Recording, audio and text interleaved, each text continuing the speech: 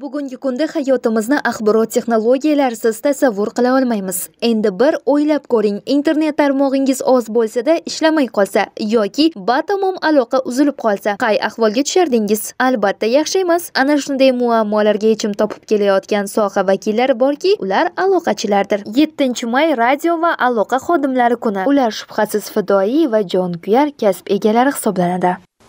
Rivojlanishdan hech qachon to'xtashmasin. Oilalariga hammalariga baxt saodat tilaymiz. Har doim yaxshi ishlab yursinlar. Raqamli texnologiyalar vazirligi huzuridagi axborotlashtirish va telekommunikatsiyalar sohasida nazorat inspeksiyasi qashqadaryo viloyat hududiy sho'basida birinchi chorak davomida 275 ta murojaat kelib tushgan.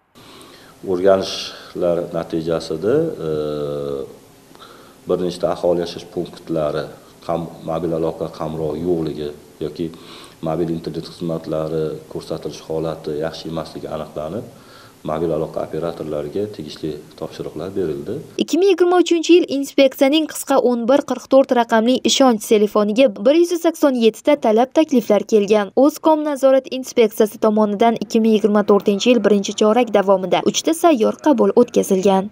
O'zkom nazorat inspeksiyasi qaysi viloyat hududiy sho'basiga shubasi tomonidan e, bir qancha ishlar amalga oshirilmoqda. E, jumladan e, viloyat hududidagi bir ming ikki yuz saksonta aholi yashash punktlari mobil aloqa qamrov va mobil internet xizmatlarini ko'rsatilish holati qashqadaryo viloyat elektromagnit moslashuv xizmati bilan hamkorlikda o'rganish ishlari amalga oshirildi.